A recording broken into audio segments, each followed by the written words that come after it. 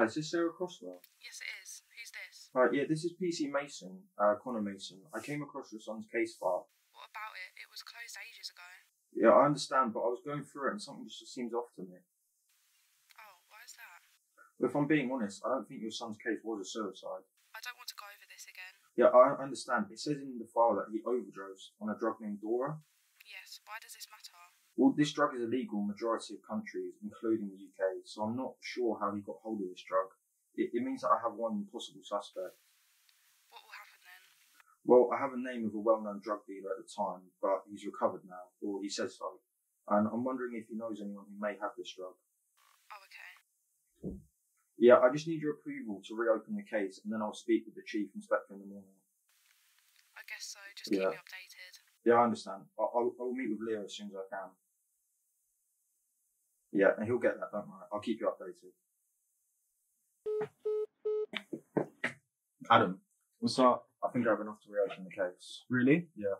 Well, I spoke to Daniel's mother on the phone and I gave her the information I have and she's happy for me to reopen it. And you did this all without the chief knowing? Yep.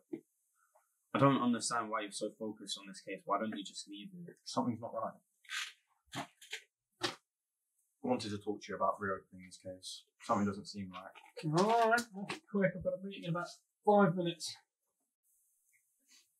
Well, go on then.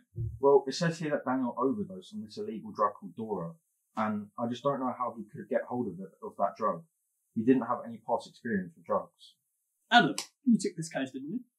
Yeah, I don't think it's anything more than an overdose. Mm, I agree. Uh, the case was closed over two years ago. Why do you want to open it out? I don't think it's necessary. Yeah, I tried to tell him. I really think you should listen to me. There's something about this case. I'm sorry, Carl. We can't reopen the case without some sort of cause or new evidence being brought to the surface. No. Listen, know your place. I've got things to do. If you want to go and chase ghosts, by all means, but don't do it on my time. Have you got any suspects? Yeah, I'm about to call Leo Anderson, who was a well-known drug dealer at the time, but I'm not sure what he's doing now. I guess I have to come with you. Yeah, you do. Leo's one on drug dealer. What drugs do you do? Where is he anyway? I think he's on that bench with the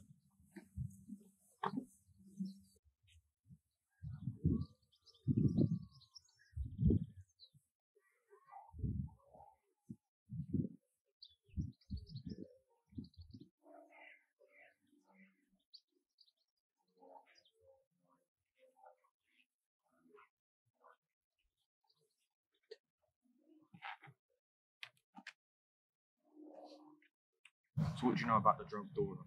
I've heard of it, but I've never touched it. Do you know anyone who sold it or had their hands? Yeah, I do. But I lost all my connections when I went in rehab. Are you sure about that? I'm sure. I haven't touched that shit in ages. So there's no contacts you can give us? No. Well, thanks anyway.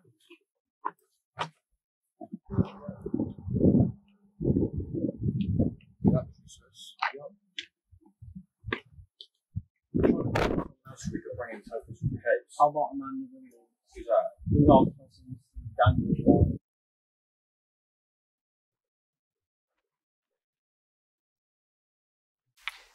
Alright, Connor.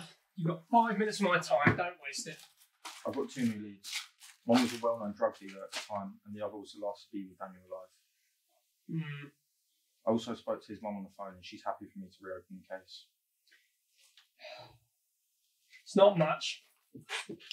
But you seem pretty insistent on reopening this case, Connor. You've not got long. You don't find anything. Closing it again. That's fine. Alright, Thanks, Chief. get to work. Don't let me down.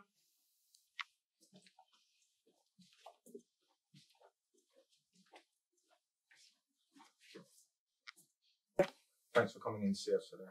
Why am I even here again? I thought this was over. We want to reopen the case about your friend Daniel. Oh, yeah, and you said it was a suicide, didn't you? This one said it was a fucking suicide. I don't know what she's talking about. Why is he not on this fucking case again? Are you fucking serious? Oh my fucking god! You know her? No. What was all that about? I. Well, she seemed like she knew. Okay.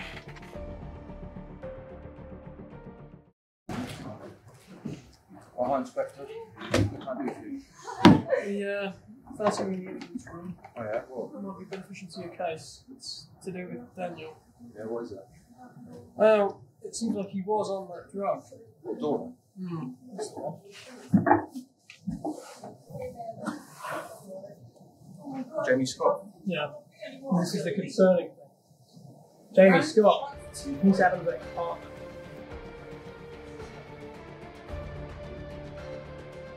I don't know why you can think you can run this business. I know more about this business than you two do. Me and Jamie have more intel than you do. We're just a nobody that wants money. You're also in the police. and You know I can ruin you both in seconds. Well, it wouldn't be possible without getting yourself involved. No, this relates to me. That's why I'm a good man for the job. You two put your names written all over this business. Good luck with that. See you in prison.